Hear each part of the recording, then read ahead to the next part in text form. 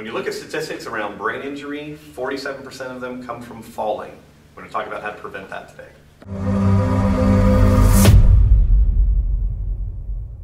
In the United States, March has been Brain Injury Awareness Month, and we've been posting some information about this all month on our Instagram page. One of the graphics that we just put up uh, comes from the US government looking at the causes of brain injury, and the number one cause by a huge margin uh, in 2013 was falling. 47%. Compare that to like 17% from traffic accidents, which is where most people would think that you would have a head injury come from. Now, the reason that we discuss this a lot in our curriculum is we are very interested in the visual system, but also the vestibular system, your inner ear, and its influence on your movement, your pain, but specifically its job, which is keeping your head from hitting the floor, uh, your balance. So today what I want to go through are just a couple of drills focused on one specific portion of the vestibular system uh, called the utricle. Now I'm not going to do a long anatomical uh, discussion today, uh, but you basically have these organs in your inner ear. They call them otolith organs. That means ear stone. If you've ever heard of uh, people having uh, stones or little crystals in their ear, this is what they're referring to. Now, you have two different otolith organs. One is called the utricle, the other is called the saccule. You don't need to know that, although there is a quiz at the end. Um, and the utricle basically gives us information about linear movements of the body. So when I'm walking forward, I'm walking toward the camera, I'm walking backwards, I'm moving side to side, these are going to require the utricle to give me good information. Now, uh, this is a very integrated system, so when I say we're working on the utricle only, we're not. We're going to be involving a lot of other things, but we have some drills that we have found to be very helpful for just stimulating this portion uh, of your inner ear. So if you have issues like motion sickness, you have, uh, let's say you're in the airport and you're on one of the people movers and things feel a little bit weird, you feel a little bit dizzy, uh, these drills can be really helpful for those kind of situations. On top of that, if you're an athlete, you have to do a lot of running, sprinting, etc. Sometimes uh, reducing the impact of everything you're doing and really focusing on these particular drills can have a huge impact on performance as well. So let's go through them. Uh, the basic thing that we're going to be working on here are linear movements of the head and body.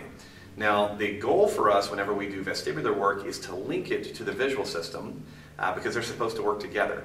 So the basic setup that I would have you do, first and foremost, first exercise, is you're going to want a visual target. So for this particular blog, I'm looking at the camera. Um, but you can set this up anywhere in your gym, in your house, and I just recommend using one of our downloads, put up a Snellen chart that's got the different size letters on it, uh, or some kind of other visual target. And I normally have people start relatively close, maybe an arm's length from that target. And you want to have it just slightly below your standing head level because what we're going to do is we're going to get into a uh, kind of an athletic stance. So look at quarter squat. We're then going to focus on one target. So I would be looking at the camera lens, uh, and then as I focus on the target, I would then begin moving my body side to side. Now I'm moving fairly quickly, and what this requires my body to do is going to activate the utricle. It's also going to make the utricle and the visual system try to work together. Looks pretty simple, right? We're just moving side to side, but I try and go faster and faster and faster and still maintain that clear visual target. All right, so that's drill number one. Drill number two, if you want to make this much more challenging, is you repeat the same exercise, only now you cover one eye, right? And then you cover the other eye. What you may find is that by removing one of the eyes from the equation, it gets much more difficult, more challenging, maybe you start to feel a little bit weird. So you have the option throughout any of these drills to actually decrease the challenge. You can go slower, it can be smaller, you can use a bigger target. The idea is to find kind of a challenging movement that you can do, um, but one that is relatively comfortable because obviously we don't want you to feel bad after you do these. Now, you can take this to another level, should you choose to, uh, by adding in some head tilt to it. One of the interesting things about the utricle is that it, move, it senses not only motions like this and forward and backward movement, it also senses head tilts. So another level to this drill would then be to focus on your target, tilt the head, focus on the target, and then move side to side. And then switch, head tilt, move side to side. Your last layer then, you could do that with one eye at a time using an eye patch or whatever. Now, again, we're just kind of throwing these out there as options for you. I have no idea what your inner ear is like, what your balance system is like. Your number one rule here is you have to be safe. So if you get any kind of dizziness, you probably should stop. Uh, either reduce the speed, reduce the range of motion, reduce the intensity, like the challenge of the visual system. And if you still feel bad, you need to stop completely, talk to your healthcare provider, uh, make sure there's nothing contraindicated for you. Um, however, these are very powerful, simple drills. In terms of your goals, the idea would be to work up to roughly 30 seconds to a minute of each iteration of the drill.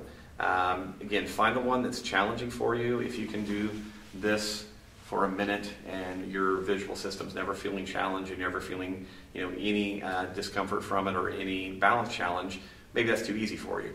So you again progress your way through, trying to find what is challenging but still feels safe, uh, and then aim to do that maybe 30 seconds to a minute uh, several times a day. Uh, give this a shot. If you have any questions about it, please let us know. Otherwise, uh, good luck with this, and hopefully you will find it has a tremendous impact on your balance uh, as well as your performance. Thanks. All right, everybody, we're gonna shoot a couple of blogs. We're to shoot one blog. One, one, just one. Sorry, overstated my uh, too much Let- enthusiasm. Let's not get crazy around here. a couple of drills, one blog. Rolling. Hope you like my deep voice.